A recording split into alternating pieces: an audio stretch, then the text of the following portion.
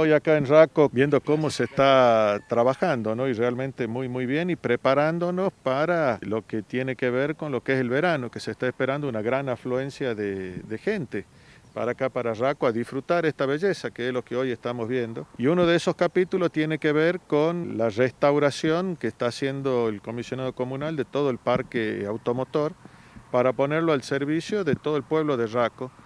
Pero también algo muy importante que tiene que ver con lo que es el reciclado de los residuos. La tarea de cuidar el medio ambiente, cuidar la casa, cuidar el lugar donde uno vive, también tiene que ver con estas medidas que, y estas acciones que está llevando adelante eh, la comuna de Raco. Y acá lo que se está haciendo es que hemos incorporado el parque automotor para toda la necesidad de la jurisdicción.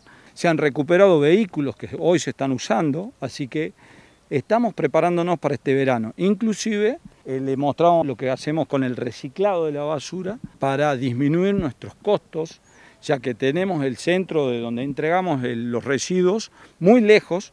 Entonces esto es disminuir y a la vez llevar a la planta recicladora de Tafí Viejo el, excedente. Felicitarlo desde acá, vamos a apoyarlo, como ha dicho el gobernador, en todos los proyectos que tiene este legado comunal y felices de ver que en lugares tan lindos como esto y tan nuestros hay conciencia ambiental, se trabaja en conciencia ambiental. Y nos tenemos que preparar con mucho entusiasmo y con mucha fuerza porque Raco cada vez está más bonito y cada vez más familias tucumanas eh, tienen la posibilidad de venir a, descansar en la época del verano. ¿no?